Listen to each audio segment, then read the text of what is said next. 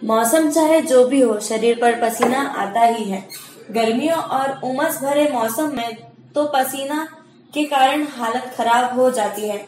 इस वजह से कहीं आने जाने की भी इच्छा नहीं होती और यह समस्या चिड़चिड़ा भी बना देती है। लेकिन कुछ तरीके हैं जो इस परेशानी को काफ़ी हद तक दूर कर सकते हैं। शरीर पर बाल यानी ज़्यादा पसीना इसलिए टाइम टू टाइम शेव करते रहे या फिर वैक्सिंग करवाते रहें।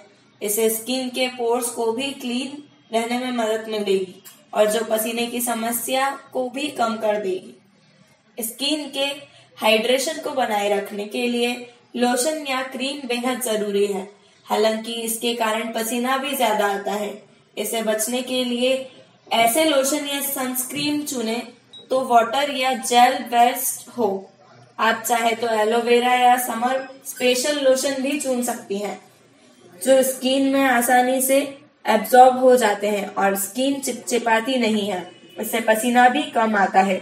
ऐसे कपड़े पहने जिसमें हवा आर पार हो सके। कॉटन इसके लिए बेस्ट चॉइस है। साथ ही में कलर भी लाइट चुने। ज़्यादा डार्क कलर ज़्यादा गर्मी व सन लाइट सोखते हैं। जिससे बॉडी का तापमान बढ़ता है और पसीना ज़्यादा आता है। इसलिए लाइट फैब्रिक और कलर के कपड़े बेस्ट चॉइस है। कम पसीने के लिए बॉडी को बाहर ही नहीं, बल्कि अंदर से भी कूल रखने की ज़रूरत है। इसके लिए आप छाछ, दही लस्सी नारियल, पानी, ताजे फलों के जूस, सब्जियों के जूस आदि को पी सकते हैं।